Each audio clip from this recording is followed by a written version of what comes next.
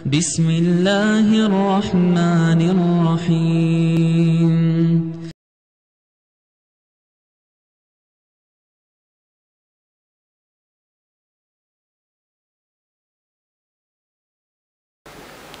السلام عليكم ورحمة الله وبركاته.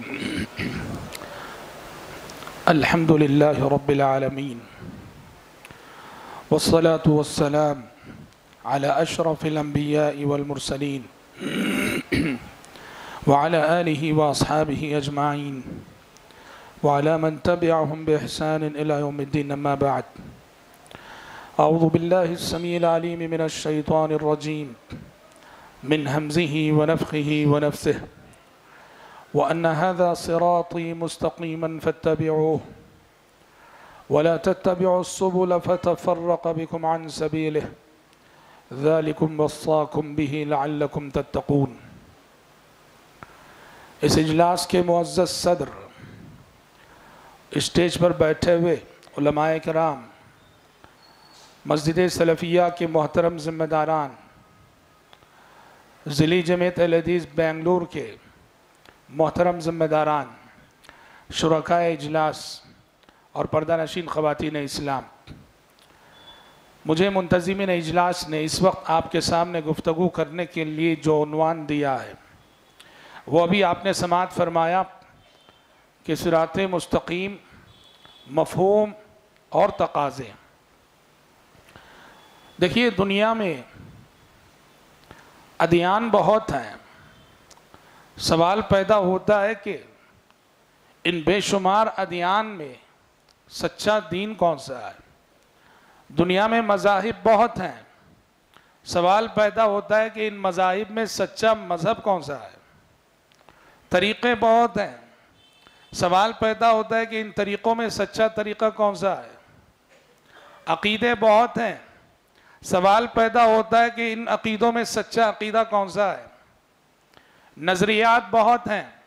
سوال پیدا ہوتا ہے کہ سچا نظریہ کون سا ہے؟ افکار بہت ہیں۔ سوال پیدا ہوتا ہے کہ سچی فکر اور صحیح فکر کون سی ہے؟ راستے بہت ہیں۔ سوال پیدا ہوتا ہے کہ سچا راستہ کون سا ہے۔ یاد رکھیے، اس دنیا میں اللہ تعالیٰ نے ہم کو جو بھیجا ہے انسان کو جو بھیجا ہے، اس دنیا میں انسان کے بھیجے جانے کا، پیدا کیے جانے کا مقصد ہی یہی ہے کہ وہ حق کی معرفت حاصل کرے۔ ان مختلف ادیان کے درمیان سچے دین کو پہچانے، ان مختلف راستوں میں سچے راستے کو پہچانے، ان مختلف عقائد و نظریات کے مابین صحیح عقیدے اور صحیح نظریے کو پہچانے، اس دنیا میں انسانی زندگی کا سب سے بڑا مشن اور مقصد یہی ہے۔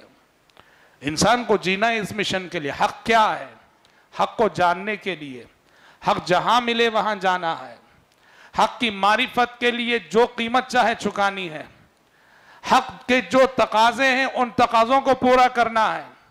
زندگی میں اگر انسان یہ کام نہ کرے تو اس کے اسے اس کام کو چھوڑ کر وہ کتنے بڑے کام کیوں نہ کر لے۔ دنیاوی اعتبار سے وہ ایک کامیاب انسان کہلا سکتا ہے، لیکن اللہ کی نظروں میں اخروی اعتبار سے اور میزان حق اور میزان عدل پر اگر اسے جانچا جائے، تولا جائے، تو وہ سچا انسان کہلا نہیں سکتا، اس کی زندگی کامیاب کہلائی نہیں جا سکتی۔ اس لیے اللہ تعالیٰ نے جب آدم علیہ السلام کو زمین پہ بھیجا، آدم و حوا علیہ السلام کے ساتھ شیطان کو بھی اتارا، تو اللہ تبارک و تعالیٰ نے ہدایت کی روشنی بھی بھیجی، ہدایت کا نور بھی بھیجا۔ روز اول سے انسان کو اللہ نے وہ نور عطا کیا، وہ روشنی عطا کی، جس نور اور روشنی کے ذریعے وہ پہچان سکتا ہے کہ حق کیا ہے، باطل کیا ہے، سچ کیا ہے، جھوٹ کیا ہے۔ اسی لیے پہلا انسان وہ نبی رہا۔ اس زمین کے پہلے انسان آدم علیہ السلام ہے اور پہلے انسان کو اللہ نے نبی بنایا۔ نبی قوموں کے درمیان آتے ہیں، آبادی میں آتے ہیں، بستی میں بھیجے جاتے ہیں پیغمبر، ملکوں میں بھیجے جاتے ہیں پیغمبر، لیکن سوچو کہ جب اس دھرتی پہ کوئی انسان نہ تھا، یہ زمین انسانوں سے خالی تھی، اس زمین پہ انسانی وجود نہ تھا اس وقت پہلا انسان جب آسمان سے اتارا جا رہا ہے، پہلا انسان جب آسمان سے زمین پہ بھیجا جا رہا ہے، پہلے انسان کو اس ویران دنیا میں، اس ویران زمین پہ جو ہے نبی بنا کے اتارا جا رہا ہے۔ مطلب یہ ہوا، پہلے دن سے اللہ تعالیٰ نے انسان کو وہ نور بصیرت عطا کیا ہے، وہ روشنی عطا کی ہے۔ جس روشنی اور جس نور کے ذریعے سے وہ زندگی کے اپنے سفر میں حق کیا ہے، باطل کیا ہے، کہاں مشکلات ہیں، کہاں گڑھے ہیں اور راستہ کہاں صحیح ہے، حق و باطل میں تمیز کرنے کی صلاحیت روز اول سے اللہ تعالیٰ نے انسان کو دے رکھی۔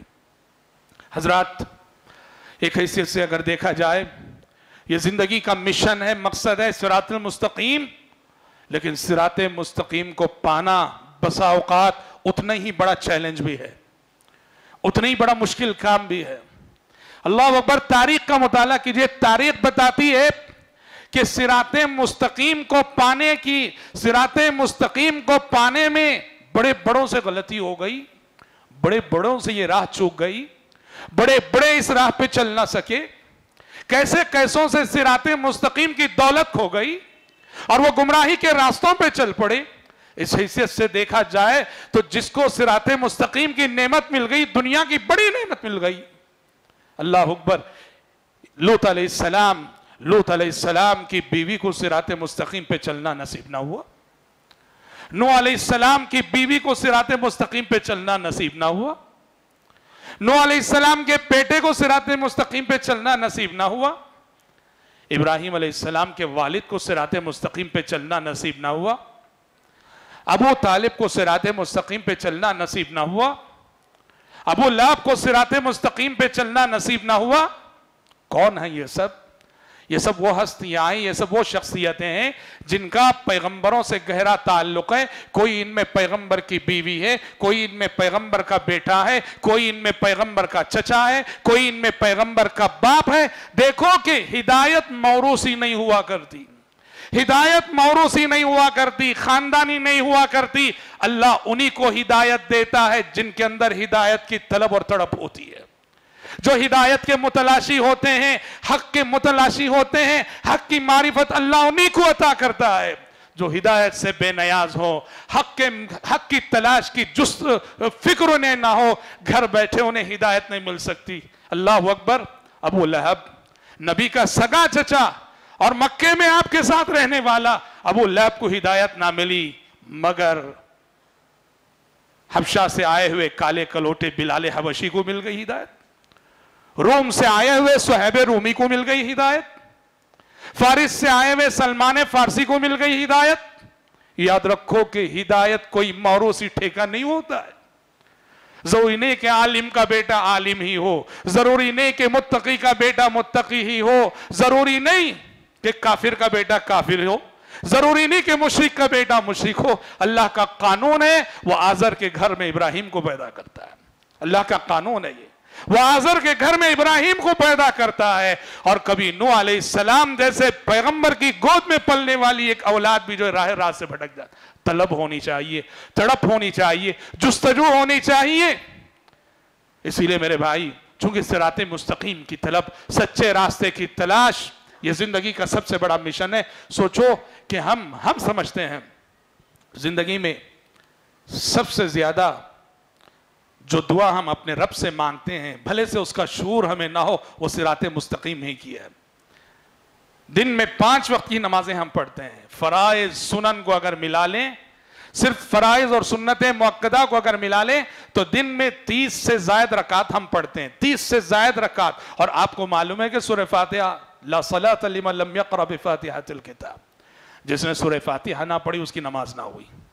جس نے سورہ فاتحہ نہ پڑھی اس کی نماز نہ ہوئی. اور آپ کو معلوم ہے اس سورہ فاتحہ میں جسے ایک مسلمان روزینہ تیس سے زائد مرتبے پڑھا کرتا ہے. اور جس سورہ فاتحہ کے بارے میں کہا گیا، وَلَقَدْ آتَيْنَاكَ سَبْعًا مِّنَ الْمَثَانِ وَالْقُرْآنَ الْعَظِيمِ۔ اے پیغمبر، ہم نے آپ کو بہت بڑی دولت عطا کی ہے، بہت بڑی دولت۔ اور یہ دولت کیا ہے؟ سات آیتیں جو بار بار پڑھی جاتی ہیں۔ سات آیتیں جو بار بار پڑھی جاتی ہیں۔ ان آیتوں کی دولت ہم نے آپ کو عطا کی یعنی سورہ فاتحہ کی دولت۔ سورہ فاتحہ میں جہاں رب کی حمد ہوتی ہے، رب کی ثنا ہوتی ہے، اللہ کی تعریف ہوتی ہے، اس کی بزرگی کا بیان ہوتا ہے، اس کی کبریائی کا اقرار ہوتا ہے، اور اس کی حمد و ثنا کے بعد بندہ رب العالمین سے جو سوال کرتا ہے، وہ یہی اہدنا الصراط المستقیم۔ اہدنا الصراط المستقیم ہر دن ہر مسلمان تیس سے پینتیس مرتبے کم از کم اہدن الصراط المستقیم. اہدن الصراط المستقیم کہتا ہے کہ پروردگارہ، صراط مستقیم پہ چلا دینا، صراط مستقیم پہ چلا دینا، سیدھی راہ پہ لے چلنا۔ سوچو کہ یہ کتنی بڑی چیز ہوگی، یہ کتنی بڑی بات ہوگی کہ رب العالمین نے ہمیں سورہ فاتحہ کے اندر روزینہ یہ دعا پڑھنے کی تعلیم دی اور تلقین کی۔ سرات مستقیم کیا ہے، سورہ فاتحہ ہی میں اس کا تعارف بھی ہو گیا۔ سیدھا راستہ، سچا راستہ۔ اور یہ سیدھا راستہ کس کا راستہ ہے؟ کون سا راستہ ہے؟ اللہ نے کہا، صراط الذین انعمت علیہم۔ سچا راستہ دنیا میں راستے بہت ہیں۔ جیسے ہم نے کہا، نظریات بہت سے آئے، عقائد بہت سے آئے، اور کیا افکار بہت سے آئے، لیکن سچا راستہ کس کا راستہ ہے؟ سراط الذین انعمت علیہم۔ اے اللہ وہ سراط مستقیم، اور وہ راستہ جس پر تیرے وہ بندے چلے ہیں جن پر کہ تیرا انعام ہوا ہے۔ اس سرات مستقیم پہ چلا، اس راستے پہ چلا، اس راہ پہ چلا، جس راہ پہ چل کر تیرے بندے تیرے انعام کے مستحق ٹھہرے ہیں۔ اور اللہ کے انعام یافتہ بندے کون ہیں؟ جن پر اللہ کی نعمتوں کی بارش ہوئی، جن کو اللہ نے انعام عطا کیا، اس کو اللہ نے پانچویں پارے سورہ نساء میں بیان کیا۔ وَمَن يُتِعِ اللَّهَ وَالرَّسُولِ فَأُولَئِكَ مَعَ الَّذِينَ أَنْعَمَ اللَّهُ عَلَيْهِم مِّنَ النَّبِيِّينَ والصدیقین والشہداء والصالحین وحسن اولئک رفیقا اللہ فرماتا ہے، جو اللہ کی اطاعت کرے اور رسول کی اطاعت کرے، صلی اللہ علیہ وسلم۔ جو اللہ اور اس کے رسول کی اطاعت کرے، کل اسے قیامت کے روز انبیاء کی صحبت نصیب ہوگی۔ ان لوگوں کی صحبت نصیب ہوگی جن پر اللہ کے انعام کی بارش ہوئی ہے۔ ان لوگوں کا ساتھ نصیب ہوگا جن لوگوں پر اللہ نے انعام کیا ہے اور اللہ نے کن پہ انعام کیا ہے۔ یہ چار طبقے ہیں جن پر اللہ تعالیٰ کے انعامات کی بارش ہوئی۔ سب سے پہلا طبقہ انبیاء کا اور دوسرا طبقہ صدیقین کا جن کے امام ابو بکر صدیق ہیں، تیسرا طبقہ شہداء کا جن کے امام حضرت عمر اور حضرت حمزہ جیسے شہداء ہیں، اور چوتھا طبقہ صالحین کا نیک لوگوں کا جن کے ائمہ بزرگ اور نیک اور صالح صحابہ ہیں۔ یہ چار طبقے انبیاء صدیقین، شہداء اور صالحین، یہ چار طبقے ہیں جن پر اللہ تبارک و تعالیٰ نے نعمتوں کی بارش کی ہے۔ ہم اللہ سے کہتے ہیں، درخواست کرتے ہیں کہ پروردگارہ ہمیں انبیاء کے راستے پہ چلا دے۔ شہداء صالحین اور صدیقین کے راستے پہ چلا دے۔ دنیا جن راستوں کو بتا کے کہہ دیے کہ اس راہ پہ چلو، اس راہ پہ چلو، ہمیں دنیا کے بتائے ہوئے راستے نہیں چاہیے۔ پروردگارہ، ہمیں تیرا بتایا ہوا راستہ، تیرے بندوں کا بتایا ہوا راستہ چاہیے۔ حضرات سرات مستقیم کی نعمت اگر آپ کو مل جاتی ہے سرات مستقیم کی نعمت، سچائی کی نعمت، صداقت کی نعمت عقید توحید کی دولت، ایمان کی دولت، دین حق کی دولت اگر آپ کو مل جاتی ہے تو یاد رکھیے، اس دولت کے ملنے کے بعد سب سے پہلا اور سب سے عظیم تقاضا کیا بنتا ہے؟ وہ ہے سرات مستقیم پہ جمنا۔ سرات مستقیم پہ استقامت۔ کیونکہ سرات مستقیم کو پا لینا بڑی بات نہیں سرات مستقیم کو پانے کے بعد اس راستے پہ ڈٹ جانا، اس راستے پہ جم جانا، یہ سب سے بڑی بات ہے۔ ورنہ تو میرے بھائی، دنیا میں کتنے ہیں جنہوں نے سرات مستقیم کو جان کر بھی سرات مستقیم کو جھٹلایا۔ ان کے جھٹلانے کی وجہ یہ نہ تھی کہ انہوں نے سرات مستقیم کو جانا نہیں، سچے راستے کو پہ... کیا آپ سمجھتے ہیں کہ ابو جہل اس لیے پیارے نبی کو جھٹلایا کہ وہ نبی کو نہیں جانتا تھا؟ کیا آپ سمجھتے ہیں کہ ابو لہب نے اس لیے جھٹلایا کہ اس نے پیارے نبی کو پہچانا نہ تھا؟ وہ اللہ ہرگز نہیں۔ پیارے نبی کی بات ہو، آپ سے پہلے گزرے پیغمبروں کی بات ہو، دنیا میں جو جو پیغمبر جھٹلائے گئے، پیغمبروں کو جھٹلانے والوں نے سب کچھ جانا، سب کچھ پہچانا، جان بوجھ کر حق کو حق جاننے کے بعد جھٹلایا۔ قرآن کہتا ہے سورة النمل میں، وَجَحَدُوا بِهَا وَاسْتَيْقَنَتْهَا أَنفُسُهُمْ ظُلْمًا وَعُلُوبًا کہا کہ انہوں نے حق کو جھٹلایا حالانکہ ان کے سینے کو چیر کر ان کے دلوں میں لکھی ہوئی تحریر پڑی جائے، ان کے دلوں میں لکھا تھا کہ نبی سچا انسان ہے، نبی کی دعوت سچی ہے، نبی کا پیغام سچا ہے۔ حق کو جان کر جھٹلایا ہے اور یاد رکھو، ہر دور اور ہر زمانے میں آج بھی یہی حق کے اندر وہ طاقت ہوتی ہے کہ حق دشمنوں سے بھی خود کو منوا لیتا ہے۔ حق دشمنوں سے بھی خود کو منوا لیتا ہے اور حق کے حق ہونے کا اعتراف اور اقرار دشمن بھی کرنے پہ مجبور ہوتا ہے۔ یہ دیکھو، یہ مشرقین مکہ تھے۔ آپ صلی اللہ علیہ وسلم کے دشمن، ولید بن مغیرہ، نظر بن حارث، فلاں فلاں۔ دن میں جو لوگ قرآن سننے جاتے تھے پیارے نبی کا، کہتے تھے لوگوں، مت سنو مت سنو مت سنو۔ صبح سے شام تک ان کا مشن تھا، قرآن مت سنو مت سنو۔ اور جب رات ہوتی تھی، رات کا اندھیرا چھاتا تھا تو خود چھپ چھپ کر جاتے تھے۔ پیارے نبی، خانہ کعبہ میں قرآن پڑھتے تھے تو چھپ کے سنتے تھے جا کر۔ دن میں دوسروں کو روکنے والے، دن میں دوسروں کو روکنے والے، رات کی تاریکیاں جب آتی ہیں تو خود جا کے چھپ چھپ کے نبی کی زبانی قرآن سنتے ہیں۔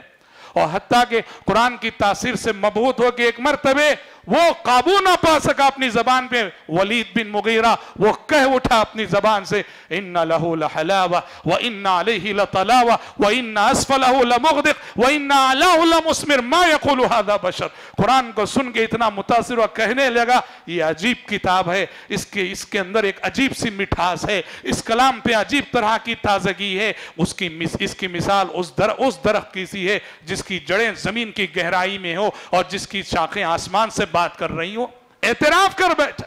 تو یاد رکھو، ہر دور اور ہر زمانے میں حق کو جو جھٹلایا گیا، اس لیے نہیں کہ حق کو جانا نہیں گیا، حق کو جان کر بھی حق کو جھٹلایا گیا۔ اسی لیے میرے بھائی، حق کی معرفت اگر آپ کو حاصل ہے، آپ نے جانا ہے کہ حق کیا ہے، آپ نے جانا ہے کہ سچا راستہ کیا ہے، آپ نے جانا ہے کہ سرات مستقیم کیا ہے، تو سب سے پہلا تقاضا ہے، اس راستے پہ ڈٹ جاؤ، اس راستے پہ ثابت قدمی دکھاؤ۔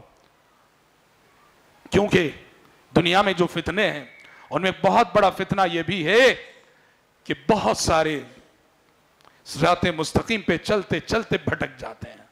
سرات مستقیم پہ چلتے چلتے بہک جاتے ہیں۔ توحید کی دولت ملی ہوئی ہے، توحید کی نعمت ملی ہوئی ہے۔ توحید کا گھرانہ ہے، توحید کا خاندان ہے۔ مگر یہ کیا ہوا کہ بچہ بیمار ہوا؟ بچہ بیمار ہوا، فوراً اپنے بچے کو لے کے کسی عامل کے پاس چلی گئی۔ توحید کا گھرانہ ہے، توحید کی دولت ہے۔ اللہ کی قسم خون کے آنسو رونے کو جی کرتا ہے، جب ہم بہت سارے حدیثوں کے گھرانوں میں توغرے لگے ہوئے دیکھتے ہیں۔ تعویزیں لٹکتی ہوئی دیکھتے ہیں۔ کہیں ناریل لٹک رہا ہے کوئی کالا دھاگا لٹک رہا ہے، کہیں لال کپڑا لٹک رہا ہے، کہیں کوئی بوٹل لٹک رہا ہے۔ ہم غیروں کی بات نہیں کر رہے ہیں۔ توحید کی نعمت کو پہچاننے کے بعد، سرات مستقیم کو جاننے کے بعد، سرات مستقیم پہ ڈٹ جانا بہت بڑی بات ہے۔ کتنے نوجوان ہیں۔ اللہ رحم کرے، والعیاذ باللہ والعیاذ باللہ۔ کالج کی کالج کی زندگی میں کسی کی ظلف کے شکار ہو گئے، کسی لڑکی کی محبت میں گرفتار ہو گئے اور والعیاذ باللہ والعیاذ باللہ۔ اس لڑکی کو پانے کی راہ میں اپنے دین اور عقیدے تک بھی کمپرومائز کرتے ہیں۔ اور ہم نے سنا ہے اور ہم نے دیکھا بعض ایسے نوجوانوں کے واقعات جو نوز باللہ عشق و محبت کے چکر میں مبتلا ہو کر دین سے ہی مرتد ہو چلے۔ لا حول ولا قوت الا باللہ۔ اس لیے یاد رکھو سرات مستقیم کی معرفت حاصل کرنے کے بعد سرات مستقیم پہ جمنا اور ثابت قدم رہنا یہ سب سے بڑی بات ہے۔ اس لیے اللہ کہتا ہے، ان الذين قالوا ربنا الله ثم استقاموا. تتنزل عليهم الملائكة.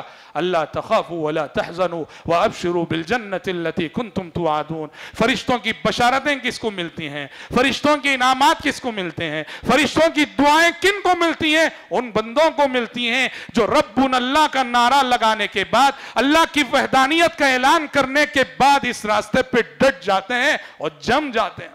اور قرآن مجید اسی لیے ہمیں دعا سکھاتا ہے، ربنا لا تزغ قلوبنا بعد إذ هديتنا. ربنا لا تزغ قلوبنا بعد إذ هديتنا. یہ قرآن کی بہت عظیم دعائیں. یاد رکھو، پیارے نبی صلی اللہ علیہ وسلم جامع دعاؤں کو پسند کرتے تھے۔ جہاں تک ہو سکے، قرآن میں آئی ہوئی دعاؤں کو یاد کیا کرو، حدیثوں میں آئی ہوئی دعاؤں کو یاد کیا کرو۔ ہم اپنی زبان سے پانچ گھنٹے بھی اگر دعا کریں، پیارے نبی اور قرآن میں سکھائی گئی دعاؤں کے دو جملوں میں وہ پانچ گھنٹے کا مفہوم آ جائے گا۔ ربنا لا تزغ قلوبنا بعد اذ هديتنا۔ پروردگارا، ہدایت ملنے کے بعد، ہدایت دینے کے بعد پھر سے ہمیں گمراہ نہ کرنا۔ پروردگارا، ہدایت کے دینے کے بعد پھر سے ہمارے دلوں میں کجی نہ ڈال ٹیڑا پن نہ ڈال۔ وَهَبْ لَنَا مِن لَدُنْكَ رَحْمَةً اور ہم پر رحمتوں کی بارش برسا۔ اِنَّكَ أَنْتَ الْوَحَّابِ تو ہی سب کچھ دینے والا، تو ہی نوازنے والا، تو ہی رحمتوں کی بارش کرنے والا۔ اور اس لیے پیارے نبی صلی اللہ علیہ وسلم کی دعا تھی۔ آپ صلی اللہ علیہ وسلم بسا اوقات سجدے میں دعا کرتے تھے، اللہم مقلب القلوب، ثبت قلبی علی طاعتک۔ اللہم مصرف القلوب، صرف قلبی علی دینک۔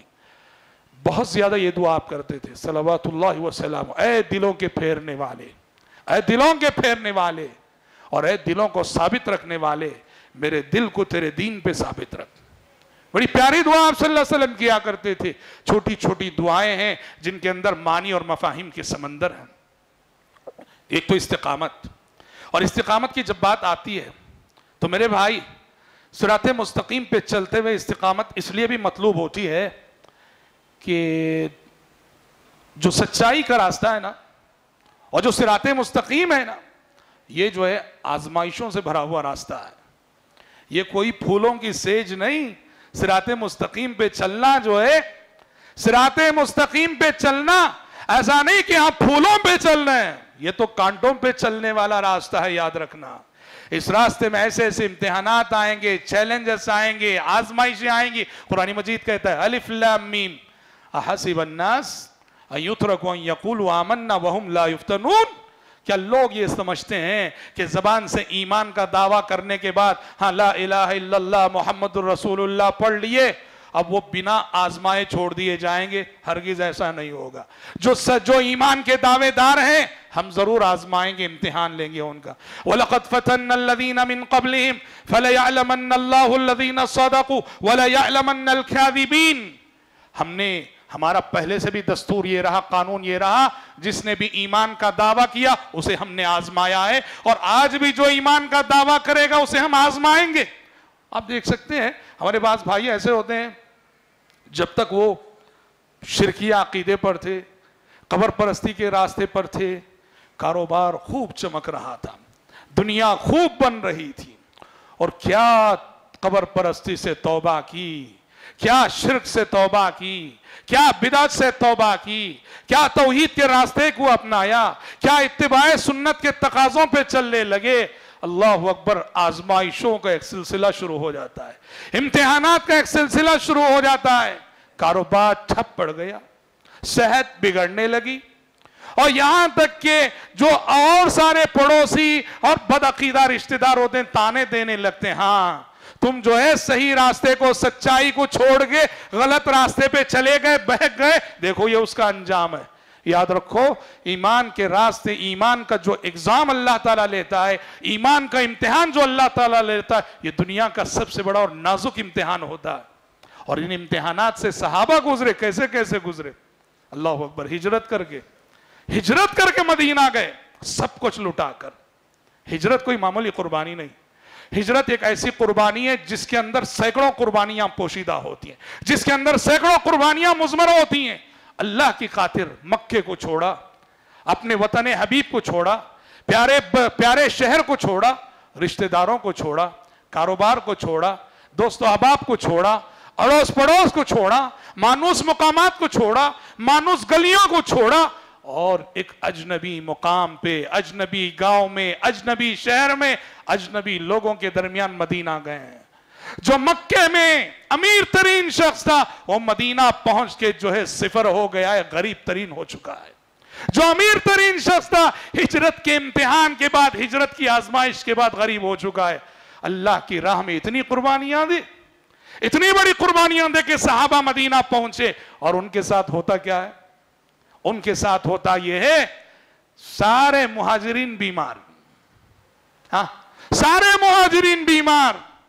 ابو بکر صدیق بیمار، بلال حبشی بیمار، سارے صحابہ بیمار۔ اور بیمار ہو کے اپنے وطن حبیب مکے کی یاد آنے لگی انہیں؟ مکے کی مکے کی یاد ستانے لگی انہیں؟ اور اتنا ہی نہیں، اتنا ہی نہیں۔ ایک تو بیماری اب وبا ہوئی۔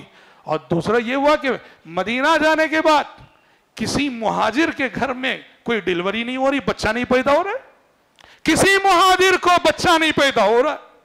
یہاں تک کہ یہ خبریں مکے تک پہنچی اور مکے کے رہنے والے کافر تانا دینے لگے۔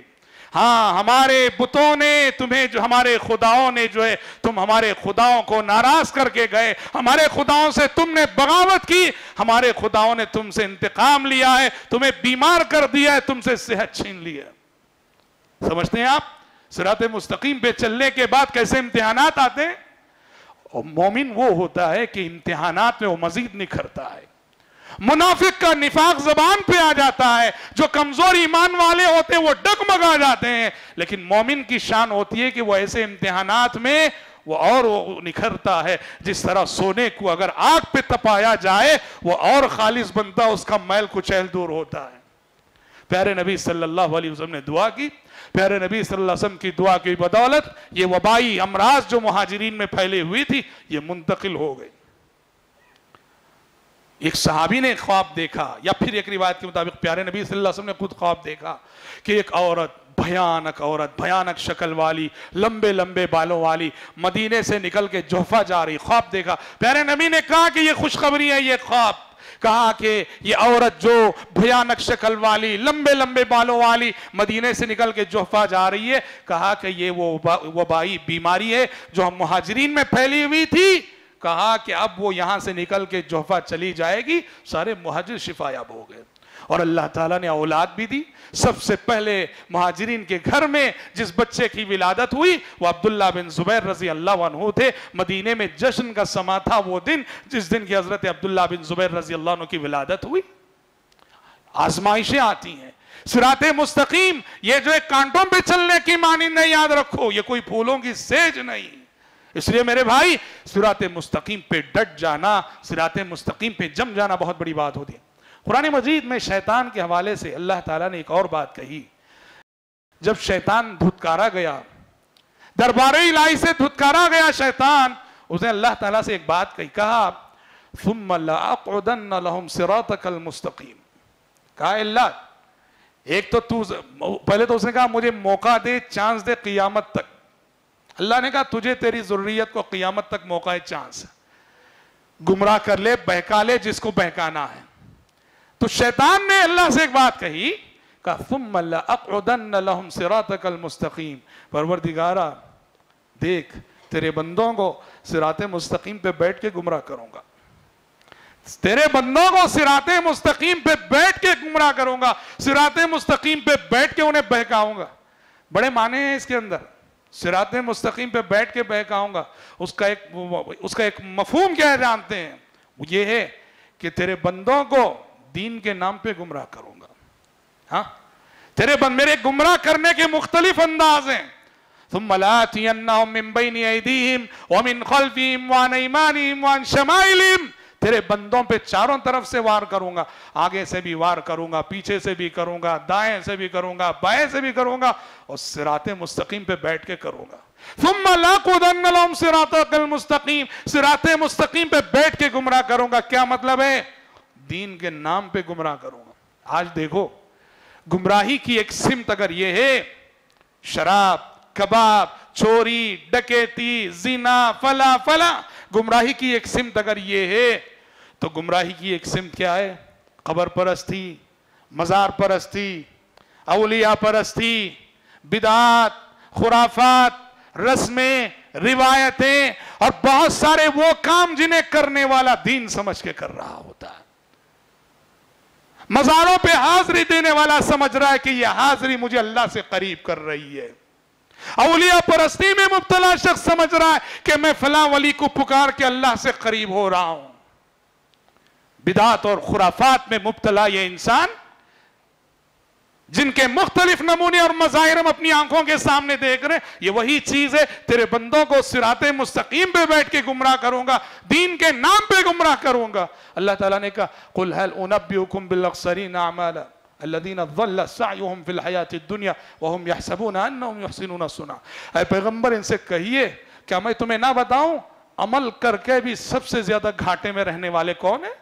عمل کر کے بھی سب سے زیادہ گھاٹے میں رہنے والے وہ ہیں کہ جن کی ساری محنت اور ساری سارے عمل ان کے بیکار ہوئے اور وہ اپنی دانش میں یہ سمجھ رہے ہیں کہ ہم بڑے اچھے اچھے کام کر رہے ہیں۔ اسی لیے سلف کہا کرتے تھے البدعت الى الشیطان احب الى الشیطان من المعصیہ۔ البدعت احب الى الشیطان من المعصیہ۔ سلف کہا کرتے تھے، ابلیس کو معصیت سے زیادہ بدعت پسند ہے۔ معصیت سے زیادہ بدعت پسند ہے۔ یعنی گناہ کے کام سے زیادہ شیطان کو بدعت پسند ہے۔ کیوں؟ دیکھو، بدعتی جو بدعت کا کام کر رہا ہوتا ہے، کیا سمجھ کے کر رہا ہوتا ہے؟ بہت اچھا کام کر رہا ہوں میں۔ اللہ سے قریب کرنے والا کام کر رہا ہوں۔ اور گناہ کرنے والا کیا سمجھ کے کر رہا ہوتا ہے؟ ایک چور چراتا ہے۔ ایک چور چرا رہا ہے اور ایک مولوی فاتحہ دلا رہا ہے۔ شیطان کو ان دونوں میں کون زیادہ پسند ہے معلوم؟ فاتحہ دلانے والا مولوی۔ چور چرا رہا ہے، مولوی فاتحہ دلا رہا ہے۔ شیطان کو اس چور کے مقابلے میں یہ فاتحہ دلانے والا مولوی پسند ہے کیوں؟ اس لیے کہ چور سے پوچھو، کوئی اچھا کام کر رہے ہو کیا تم؟ وہ کہے گا، نہیں، میں غلط کام کر رہا ہوں۔ وہ وہ جانتا ہے، میں جو کر رہا ہوں غلط ہے۔ اور یہ چیز کبھی بھی اسے توبہ پہ آمدہ کر سکتی ہے۔ اور اس سے پوچھو فاتحہ دلانے والے سے پوچھو کیا کر رہے ہو تم؟ کہا بڑی نیکی کر رہا ہوں، بڑا اچھا کام کر رہا ہوں۔ ہے گمراہی کے راستے پہ، سمجھ رہا ہے کہ میں اچھے راستے پہ ہوں، سچائی کے راستے پہ۔ اس لیے اس کے سنبھلنے کی اور اس کے توبہ کرنے کی امید کم ہوتی ہے۔ چور کبھی بھی توبہ کر سکتا ہے۔ اس لیے کہ اس کا ضمیر چرانے کے بعد بھی اس کی ملامت کر رہا ہوتا ہے۔ تو نے فلاں بیوہ کا مال چرایا، فلاں یتیم کا مال چرایا، فلاں غریب کا مال چرایا۔ تو نے اچھا نہیں کیا، اس کا ضمیر اس کی ملامت کر رہا ہوتا ہے۔ مگر یہ جو فاتحہ دلانے والا، چادر چڑھانے والا فلا فلا یہ بدعت و خرافات کے کام وہ اپنی جگہ سمجھتے ہیں کہ ہم بڑے اچھے کام کر رہے ہیں۔ اس لیے دیکھیے، ابلیس نے جو کہا، ثم لَأَقْعُدَنَّ لَهُمْ صِرَاطَكَ الْمُسْتَقِيمِ۔ اے اللہ، تیرے بندوں کو میں صراط مستقیم پہ بیٹھ کے گمراہ کروں گا۔ اس فتنے سے بھی آگاہ رہنا چاہیے۔ اور ابلیس یہ چیلنج کر کے آیا ہے۔ اور اللہ تعالیٰ نے ابلیس سے کہہ دیا تھا إِلَّا عِبَادَكَ إِلَّا عِبَادَكَ مِنْهُمُ الْمُخْلَصِينَ۔ وہ وہ ابلیس نے خود کہہ دیا۔ ہاں میں یہ مانتا ہوں پروردگارہ کہ دنیا میں میرا بس تیرے ان بندوں پہ نہیں چلے گا جو مخلص بندے ہیں، تیرے منتخب بندے ہیں، تیرے نمائندہ بندے ہیں، تیرے سلیکٹڈ بندے ہیں، ان پہ میرا بس نہیں چلے گا۔ وہیں کہہ کے آیا، اعتراف کر کے آیا اور اسی طرح میرے بھائی صراط مستقیم پہ چلنے کے جو بہت سارے تقاضے ہیں، ان میں سے ایک عظیم تقاضا یہ بھی ہے۔ جسے بتا کہ میں اپنی بات ختم کرتا ہوں کہ صراط مستقیم، حق اور سچائی کی دولت، نعمت ہمیں ملی ہوئی ہے۔ یاد رکھو، اس نعمت کو ہماری آنے والی نسلوں میں منتقل کرنا ہماری ذمہ داری ہے۔ ہماری بچوں کی تربیت اسی نہج پہ کرنا۔ یہ دین توحید، عقید توحید کی دولت، عقید توحید کا سبق اپنے بچوں کو پڑھانا۔ کتاب و سنت کی تعلیمات کا درس اپنی آنے والی نسلوں کو دینا۔ یہ ہر ماں باپ کی ذمہ داری بنتی ہے۔ اللہ تعالیٰ نے ابراہیم خلیل اللہ علیہ السلام کی تعریف کرتے ہوئے فرمایا، وَجَعَلَهَا كَلِمَةً بَاقِيَةً فِي عَقِبِ کہ خلیل اللہ، اس لیے خلیل اللہ ہوئے۔ ایک تو کلمہ توحید لا الہ الا اللہ پہ وہ خود قائم رہے اور اس کلمے کے راستے میں بڑی بڑی قربانیاں ابراہیم خلیل اللہ نے دی اور دوسری بات یہ ہے کہ اس کلمے کی حفاظت انہوں نے اپنی آنے والی نسلوں میں بھی کی۔ اس کلمے کی حفاظت انہوں نے اپنی آنے والی نسلوں میں بھی کی کہ اس دین توحید کو اور دین توحید کے تقاضوں کو اپنے آنے والی نسلوں تک پھیلایا، توحید کا سبق اپنے آنے والی نسلوں کو پڑھایا۔ اسی لیے ابراہیم علیہ السلام کو دیکھیے، ان کی اولاد نبی، ان کے بیٹے نبی، ان کے پوتے نبی، ان کے پڑ پوتے نبی، چار پشتے مسلسل جو ہے نبوت کا سلسلہ خلیل اللہ علیہ السلام کے خاندان میں رہا۔ یہ بہت بڑی بات ہے، بڑی ذمہ داری ہے کہ ماں باپ حق اور ہدایت کی اس نعمت کو اپنے آنے والی نسلوں تک منتقل کرنے کی فکر کریں۔ وسیع موضوع ہے، کشادہ موضوع ہے۔ میں انہی چند نکات پہ اپنی گفتگو کو ختم کرتے ہوئے اللہ تعالیٰ سے دعا کرتا ہوں کہ رب العالمین ہم سب کو تادم حیات، حق پہ ثابت قدمی نصیب فرمائیں رب العالمین ہمارا صرف ہمیں نہیں، ہماری آنے والی نسلوں کو اللہ تعالیٰ صراط مستقیم پہ ثابت قدمی نصیب فرمائے۔ آمین۔ واخر دعوانا الحمدللہ رب العالمین۔